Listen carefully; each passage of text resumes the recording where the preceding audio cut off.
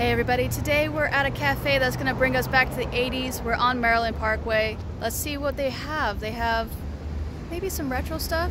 I'm hoping that there's more than just uh, some themed cutlery. Let's get this started. I want to get back into the 80s, my friends.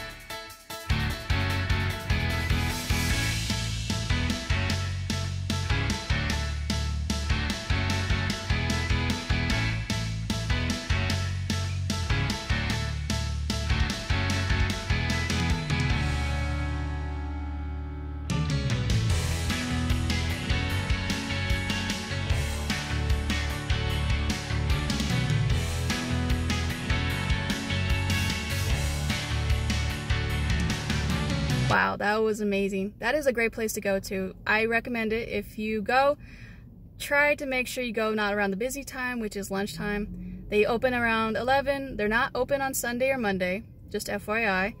They do have uh, everything you could think of. They did not miss a detail. From the seating to the decor. They even have little board games lying around for you to play if you want to play with your family highly doubt you're going to be able to have time to eat and play because it was smaller area. There is two rooms. There is a bar area room where you could chill and relax, and then there is just a small little dining area right next to the kitchen. I like it. I recommend getting the Ziggy Piggy. They have a Ziggy Piggy. Everything is named after a movie. And the smallest details that I loved was they had VHS lining the walls, so you could look at it. I was brought back by them having batteries not included.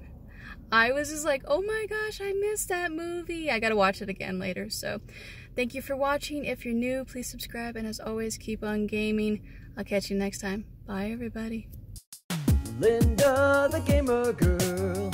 She's here, she's playing games. Linda, the gamer girl. She's here, she's playing games.